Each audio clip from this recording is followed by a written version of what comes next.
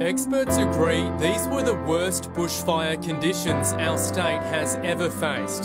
South Australia ablaze from Kangaroo Island, Cudlee Creek to the Yorke Peninsula in a horror season.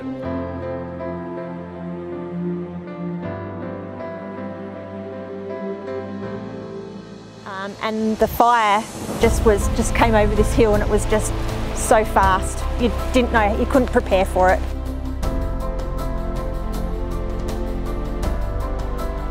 Multiple states are shutting their borders to try to protect their residents from COVID 19. Anyone now travelling to South Australia, be it by plane, train, or car, must now self isolate for 14 days.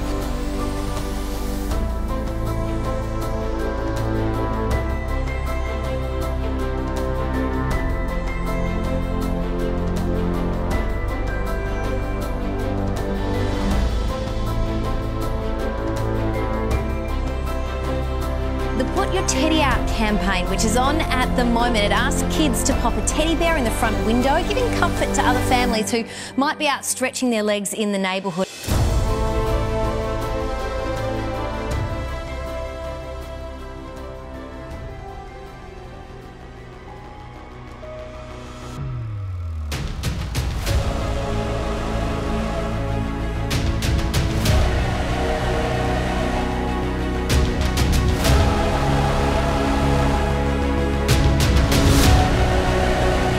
We've got to have health and safety as our number one priority.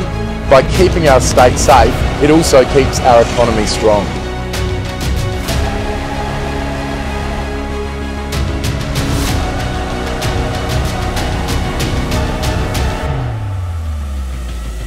Those guys put their lives on the line for everybody. And if you drive around the hills, you'll see signs thanking the CFS for saving my home.